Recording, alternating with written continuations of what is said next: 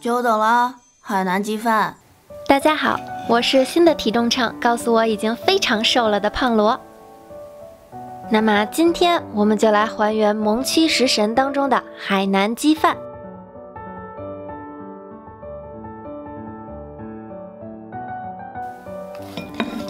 首先，我们要给整鸡加点手泥儿和料酒。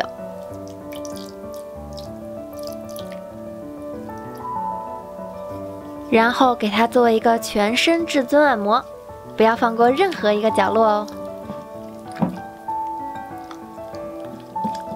接着，我们把香兰叶、香茅、紫葱头和蒜头都切成小片和小段儿，在汤锅中放入一部分柠檬叶、大部分蒜片、一半紫葱头和一半姜片，还有一半香茅和一半香兰叶，不要忘记还有大半的花椒。最后注入足量的水，盖上盖子，将汤水煮到沸腾。在水中加一些盐，拎着鸡脖子，把整鸡放在汤水中浸泡三十秒左右，再捞出。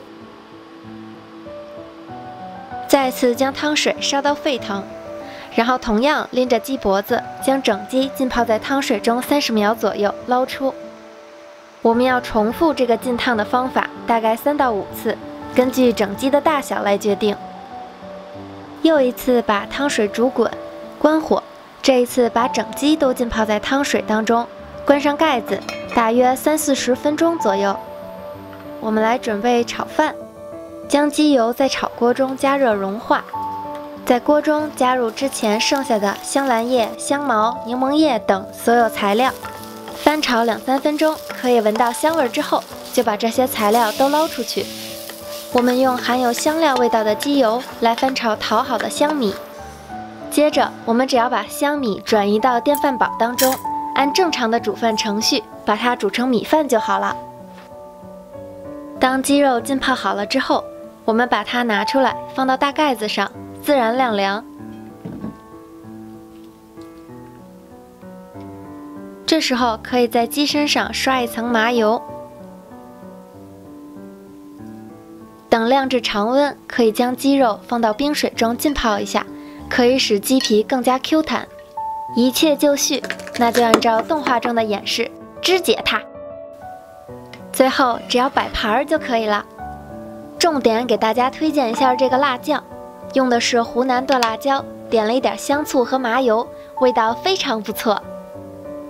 那么，本期视频萌妻食神当中的海南鸡饭还原圆满成功。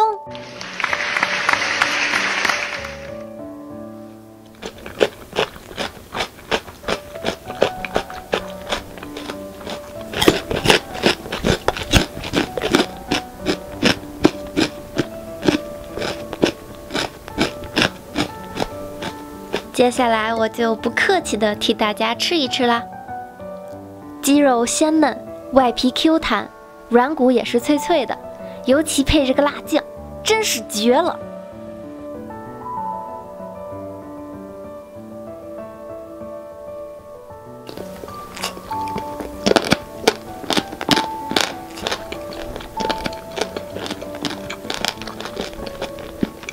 以上。如果你想看到我更多作品的话，请给我打钱，我就可以升级镜头了。